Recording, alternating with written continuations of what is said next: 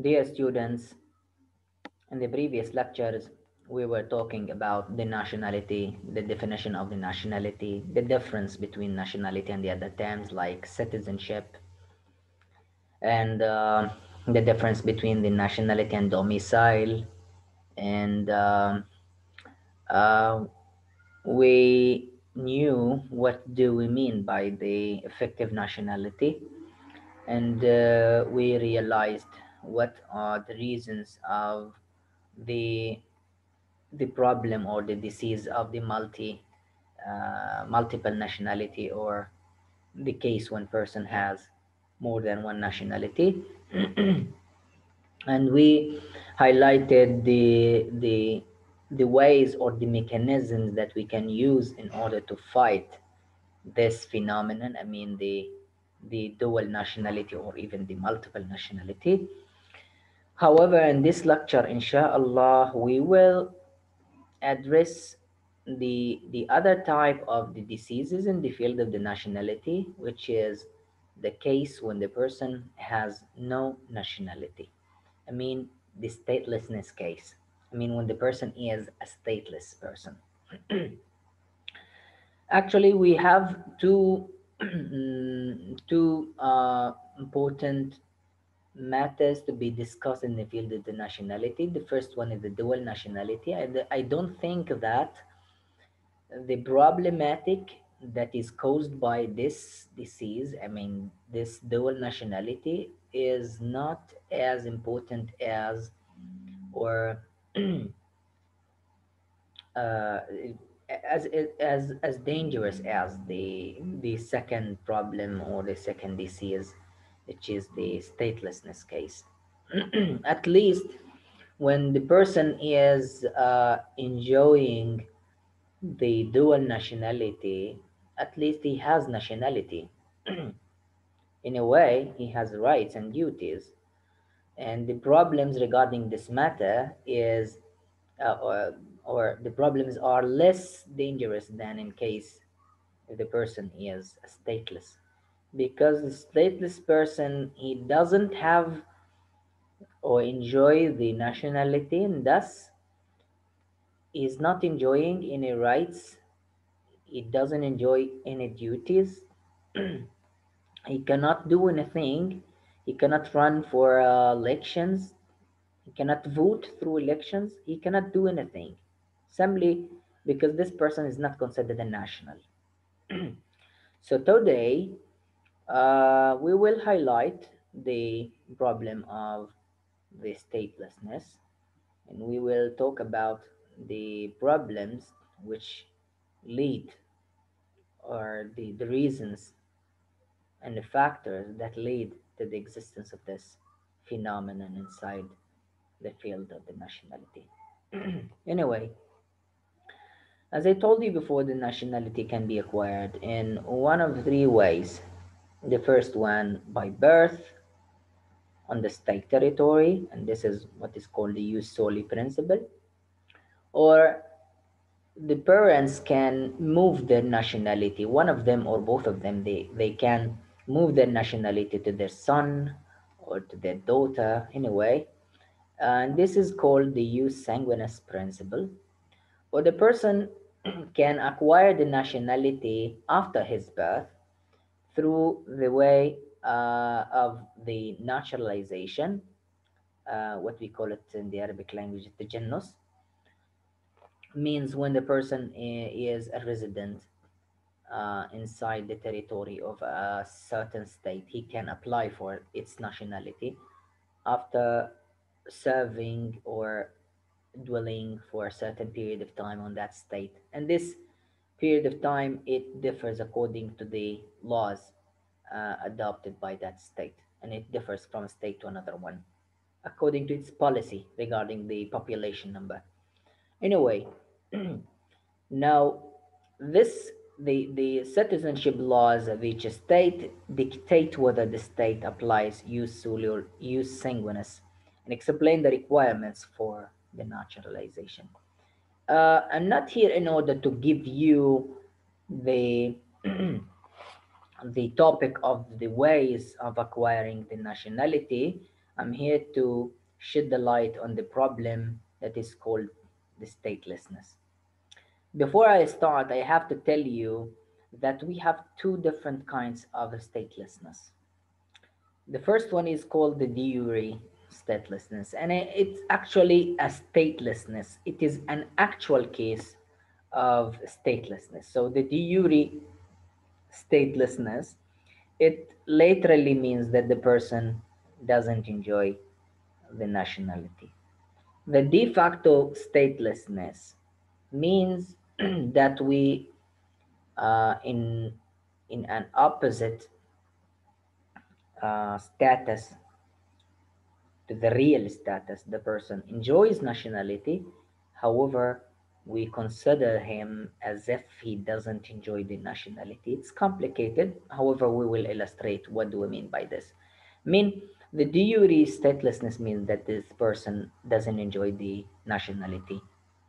I mean, he doesn't really enjoy any kind of nationality. However, the de, de facto statelessness means that this person, for example, Lynn, she enjoys the nationality of state of Palestine. However, despite this fact, we consider that Lynn is a de facto statelessness in an opposite to the reality, which shows that she enjoys nationality, the Palestinian nationality. So how come? Well, actually, we will illustrate this. Anyway, so we have different kinds for the statelessness. The statelessness means that the person doesn't enjoy nationality. This is the literal meaning of the statelessness. Anyway, the definition of the statelessness person provided in the 1954 Statelessness Convention وهذه مهمة وحتلزمنا خلال قراءتنا يعني للموضوع ودراستنا له ف it's recommended to uh, uh, upload the convention called the Statelessness Convention 1954 because we will highlight uh, more than one article from this convention. So let's we let we read here what is the definition of the statelessness person or the stateless person according to the convention. It says that the stateless person, that we use a red color here, a person who is not considered a national by any state and the operation of its law. I mean the the, the law in action. Um, ببساطة أي شخص ما لا يعتبر مواطن بحكم القانون تبع الدولة القانون الجنسية تبع الدولة بنعتبره إنه هو عبارة عن شخص عديم الجنسية. يعني خلينا نقول إنه أنا عندي في فلسطين أي شخص ما ي... ما ينطبق عليه أو لا ينطبق عليه آه شروط اكتساب الجنسية الفلسطينية على الأسس اللي حددها القانون الفلسطيني بعتبره statelessness أو كيس يعني أو هو stateless person. يعني خلينا نقول إنه آه واحد مصري مولود لأم وأبو مصريين كانوا موجودين في فلسطين ساعة من ولده. ساعة من ولد الابن يعني. كانوا اثنين يعني الأب والأم خلينا نقول بروفيسورات بيعطوا في إحدى الجامعات الفلسطينية فأنجبوا طفل في مصري. أنا بغض النظر إنه هو خلينا نقول إنه آه هذا الشخص بالنسبة للقانون الفلسطيني هو statelessness كيس لأنه القانون الفلسطيني لن يمنحه جنسية. لكن بقول إنه هذه المسألة مسألة relative statelessness. ليش؟ لأنه هو بالنسبة لدولة فلسطين بس ما عندوش عدم جنسية بنظرها هي. لكن بالنسبة لمصر ستمنحه الجنسية المصرية. ما فيش مشاكل عشان هو هو مش absolute uh, stateless. أو هو لا ينطبق عليه أصلا وصف الستيتلس لأنه أنا قاعد بنظر للمسألة بمنظور إنه القانون الفلسطيني. لكن التعريف بيقول لي إنه البيرسون is considered a, a stateless person when he is not considered a national by any state. يعني خلينا نقول إنه الشخص انولد والقانون الفلسطيني بيعطيهوش جنسية ولا قانون أبو أم بيعطيه جنسية ولا أي قانون في الدنيا بيعطيك جنسية. فهذا الشخص إيش بنسميه؟ stateless person. عشان هيك إحنا بنقول إنه الشخص اللي بيمنحوش القانون أي قانون في دولة في العالم بيمنحوا. لازم كل الدول تكون بتعطيش الجنسيه لأنه إذا واحدة من الدول أعطته الجنسيه ببطل في ستيتلس أصلا. وأنا بطلع على حالة الابسولوت ستيتلسنس بطلعش على الريلاتيفيتي في الموضوع. فأي شخص ما عنده الجنسيه which is granted to him by any state is considered a stateless person. هذه الحالة تحديدا إنه الشخص أو التعريف هذا بيعكس لي حاجة اسمها الديوري ستيتلس ليش اعتبرت إنه الستيتلسنس المذكورة في التعريف هي النوع الأول اللي اسمه ديوري ستيتلس لأنه أنا نظرت للشخص يعتبر مواطن ولا مش مواطن بحسب النص القانوني. إذا ما فيش نص قانوني في أي قانون لأي دولة في العالم من نحو الجنسية إذا هو بحكم القانون أصبح هذا الشخص stateless. ونوع الستيتلسنس اللي عنده ديوري ديوري لأنه أنا اعتبرته stateless لأنه ما فيش أي قانون بيمنحه الجنسية في العالم. فعشان هيك بنسميها حالة الديوري statelessness. ومن آن من الآن فصاعدا. تعرف إنه الديوري statelessness it means that the person is actually stateless. He doesn't enjoy any nationality. وهذا مهم إنه تعرفه لأنه حيميز لي بينه وبين الديفاكتو statelessness. وكل دراستي حتكون عن الديوري بالمناسبة مش عن الديفاكتو بس مهم جدا أعرف إيش يعني الديفاكتو statelessness. بالمناسبة هذا اللي أنا باخذ منه الشرح تركت لكم إياه في رابط ضمن الماتيريالز حتلاقوه فوق. أول ما تفتح الموديل تفتح المساق حتلاقيه تحت الثلاث ملفات اللي كنت حاطط لكم إياهم كمواد تقرأوا منهم. حتلاقوا الرابط هذا. فهذا حنعتمده كجزء من محاضراتنا. anyway الآن thus وطبعا اقرأوا الارتكل 1 باراجراف 1 هي اللي حطت لي تعريف الستيتلس بيرسون الديوري person. Uh, thus the obligations imposed on states by 1954 statelessness convention apply only to de statelessness person. okay. عشان هيك الالتزامات فرضتها اتفاقية انعدام الجنسية على مين؟ على الدول الأطراف فيها عشان تطبق هذه الالتزامات فيما يخص بس مين؟ بس الديوري statelessness حالة الديوري statelessness Although the final act included a non-binding recommendation on that states take measures to protect the rights of the de facto statelessness case or the de facto stateless persons. يعني بتعرفوا إن الconvention, the statelessness convention, it imposes obligations on state member states regarding the uh, fighting the case of the de jure statelessness.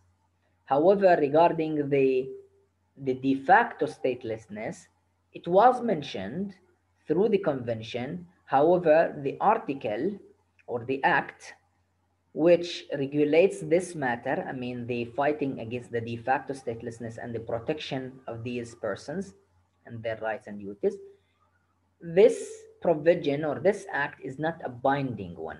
It is a non-binding, it is a mere non-binding recommendation made uh, and uh, directed to those member states.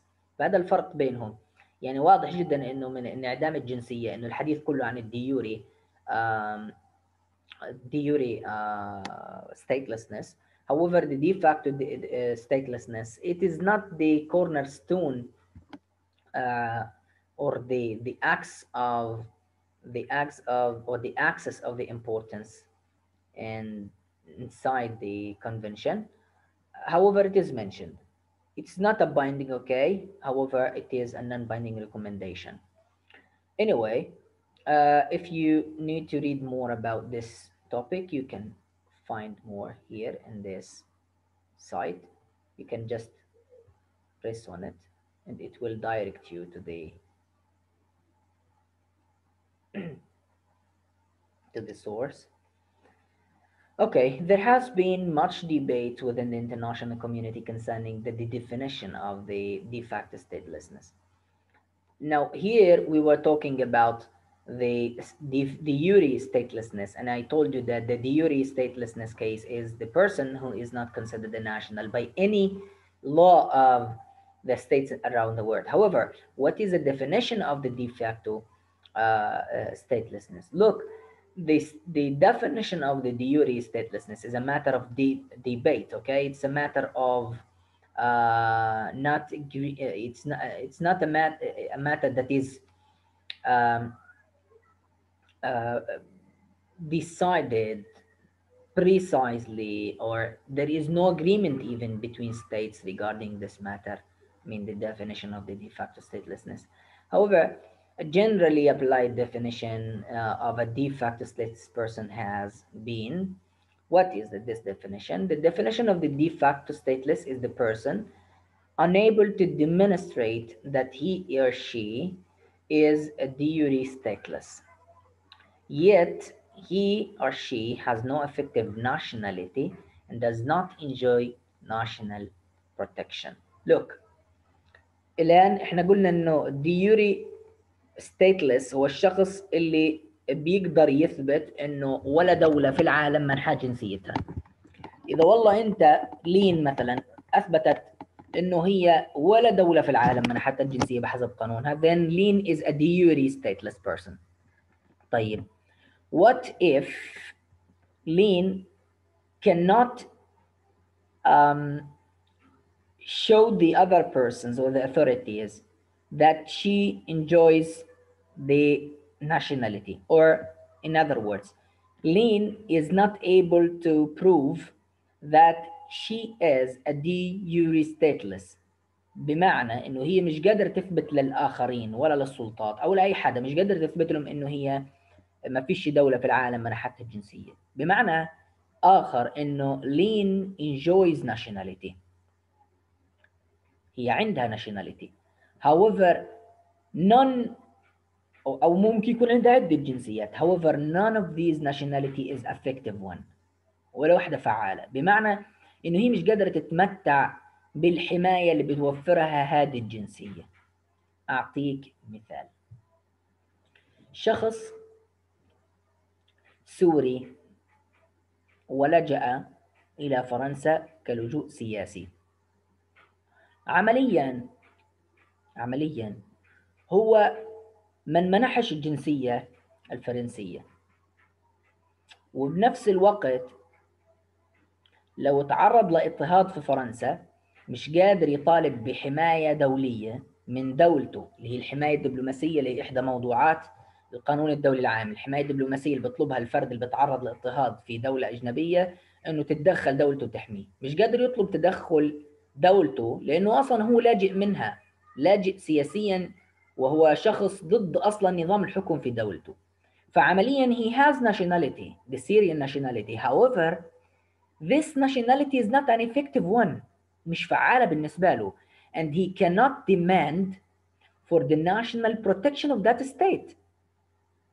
ففي الفعل في مثل هذه الأحوال الشخص صح بتمتع بجنسية لكن إيش الفايدة منها هي والعدم سواء بالنسبة له عشان هيك هو دي يوري he has nationality however de facto he is a stateless person I hope you understand this idea the de statelessness case means that the person he may enjoy the nationality However, this nationality is not an effective one because he cannot enjoy the national protection or the diplomatic protection of that state. Because, for example, he he sought the political asylum, he is against the regime inside the state. At the same time, the state that he sought or the state that he resorted to, it doesn't really grant him the nationality or its nationality. So in this case, he has only one nationality. However, this nationality is not effective one. So it is existed de jure. He, he has nationality. However, de facto, this nationality is useless. That's why we can call this person as a stateless person. However, it is not a de jure stateless person. He is just a de facto stateless person. وهنا في مرجع مهم كتير. للي بيحب يعمل further readings. ممكن يفتحوا ويقرأ في باراجراف 8 بلاقيها بتتكلم عن هذه الفكرة. Thus, خلاصة الكلام. De facto stateless persons technically have a nationality. من حيث الواقع they have nationality. But for variety of reasons لأسباب مختلفة they do not enjoy the rights and protections that persons holding their nationality normally enjoy. بتمتعوش بنفس المزايا ولا الحماية ولا الحقوق اللي غالبا بتمتع فيها الناس اللي زيهم وبكونوا حاصلين على الجنسية. واحد مواطن سوري عادي ما فيش عنده خلاف وتعرض لاضطهاد خارجي بطلب من حكومته السورية إنه تتدخل لحمايته. لكن هذا الشخص لأنه وضعه خاص مش قادر يطلب حماية من دولته. فاصبحت الجنسية اللي هو حاملها منظر عشان هيك بنقول انه this person is a de facto stateless person I hope that the the idea or the difference now is clear between the two kinds of the stateless uh, statelessness the de facto and the de jure statelessness case Anyway, the debate regarding the definition has surrounded the ambiguity of the term effective nationality لأنه موضوع ال effective nationality حكينا إنه هي الجنسية اللي الشخص بيكون أكثر ارتباطا فيه يعني if the person enjoys more than one nationality uh, and we need to apply one of the laws of the nationalities that he has or enjoys then in this case we shall look on shall consider the effective nationality. The effective nationality means the, the nationality that the person uh, in a regular way in, enjoys or practices the, the rights and the duties of such a state. Traditionally, the divide has been over whether the person's nationality could be ineffective inside as well as outside the individual's country of nationality. This debate unfolded during the 2020 uni, uh, the United Nations High Commission for Human Rights expert meeting on the concept of statelessness under international law, where participants ultimately concluded that the term de facto statelessness should refer to persons outside the, the country of their nationality who are unable or for valid reasons are unwilling to avail themselves the protection of that state. الفكرة قبل شوي احنا كنا بنحكي انه المثال اللي انا ضربته انه a Syrian person he he was outside the state of Syria he was in France for example and this person he wasn't granted the French nationality the same time he has and enjoys only one nationality, the Syrian one. However, this person cannot demand for the protection of this the Syrian state. So this person is considered a de, de facto statelessness. Look, we consider this person a stateless because he was outside the, the state territory. The, the case will be different of this person, I mean the Syrian person, is inside his state if the person inside the state of Syria and he in this case we cannot apply the the, the, the protection i mean the diplomatic protection because the, the diplomatic protection it links with the case when the person is outside his territory. However this person is inside syria and he is persecuted because he's against the regime or something. Then in this case this person is not considered stateless or de facto stateless. We cannot say that he is de facto stateless. He is enjoying a de jure uh, nationality.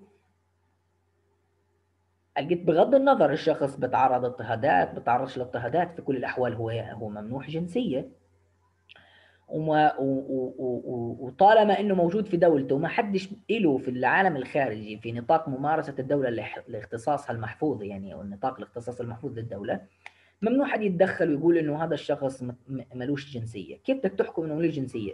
طالما إنه هو موجود في سوريا أو في سوريا وعنده الجنسية اذا هو إحنا حنعتبره متمتع بجنسية ديوري فبقدرش أقول عنه دي فاكتو ستيتلس لمجرد إنه ما مارسش الحقوق والحريات. لأنه كثير ناس أصلا في العالم بيمارسوش حقوق وحريات جبرا عنهم. ولو بدنا نقول إنه نظرا لإنه بيمارسوش حقوق وحريات فهم عديمي الجنسيه من حيث الواقع معناته إحنا الفلسطينيين حنطلع عديمي الجنسيه من حيث الواقع لأنه ما مارسناش أي حق سياسي منذ زمن طويل. فبقدرش أقول إنه طالما إنه إحنا موجودين في الداخل داخل الدولة صعب أتكلم عن فكرة الدي فاكتو statelessness. الديفاكتو statelessness دائما نطاقها مربوط بالحالة اللي بيكون فيها شخص موجود في الخارج وبتمتع بجنسية بلد معين لكن مش قادر يطالب بحماية هذا البلد. فبتصير المسألة هي والعدم سواء بالنسبة له. وهذا اللي أتفق عليه غالبا ما بين مؤتمر اللي ضم الخبراء في مؤتمر اللي هو المفوضية العامة لحقوق الإنسان بخصوص موضوع الستيتلسنس.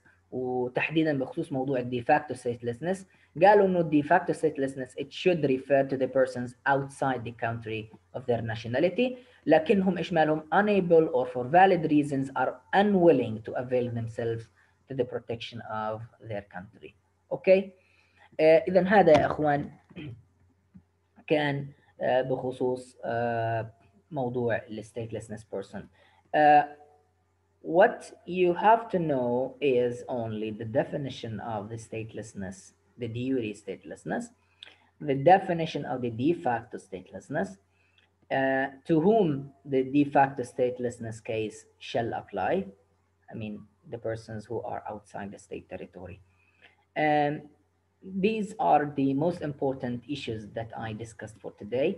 Let me finish for uh, with this pa paragraph. It says that in the above context, Protection refers to the right to diplomatic protection exercised by state of nationality in order to remedy an internationally wrongful act against one of its national, as well diplomatic and consular protection and assistance generally, including in relation to the return to the state of nationality.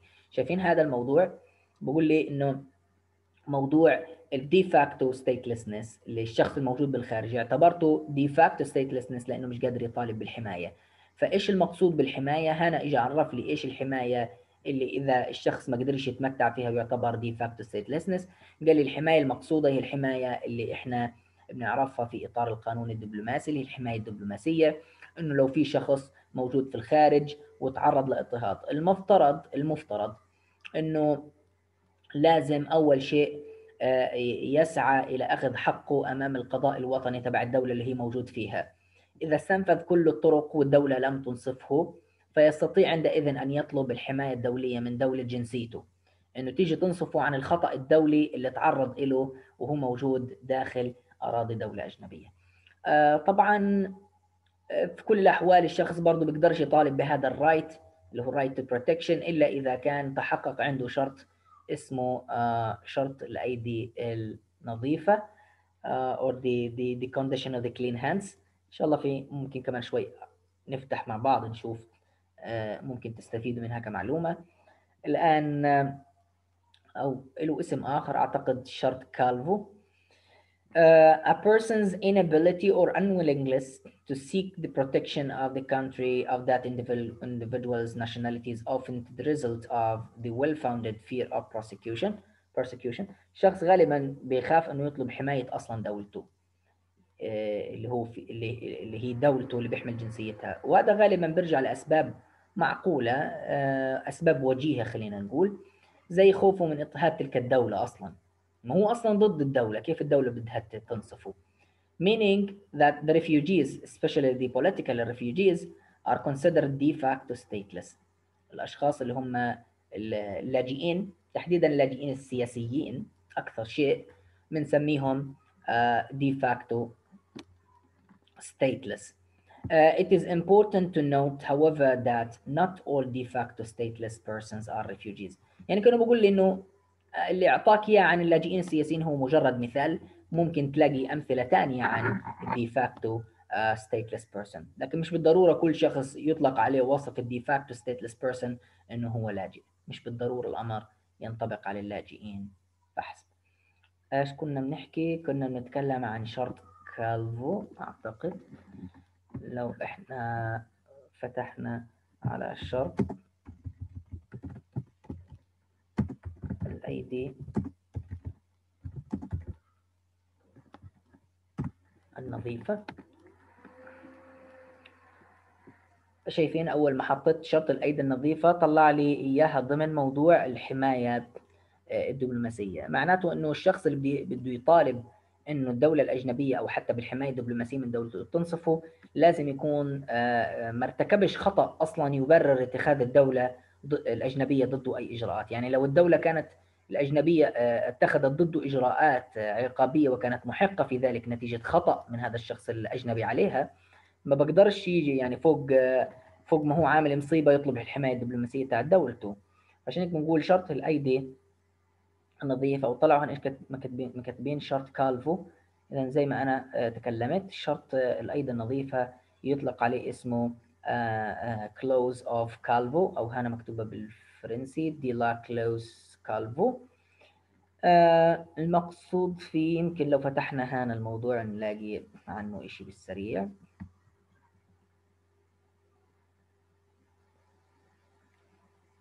أوكي هذا ملف يعني مليان شغلات.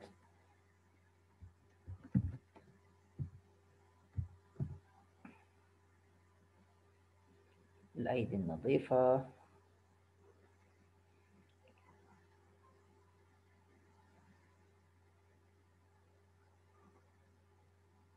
هايو مكتوب هنا كلمة مهمة. ولاحظ أنه قد جرى الاحتجاج في دورات سابقة للجنة بأن مبدأ الأيدي النظيفة ينبغي إدراجه في مشاريع المواد لأنه قد دفع به في سياق الحماية الدبلوماسية بغية منع الدول من ممارسة الحماية الدبلوماسية إذا كان مواطنها وقتش نمنع الدولة أنه تمارس الحماية الدبلوماسية؟ يعني الفلسطيني وطالب حماية دولة فلسطين له في الخارج. آه، فدولة فلسطين ستمنع من ذلك. إذا كان المواطن الفلسطيني الذي تسعى إلى حمايته دولة فلسطين تعرض للضرر بسبب إيه؟ بسبب سلوكه غير المشروع.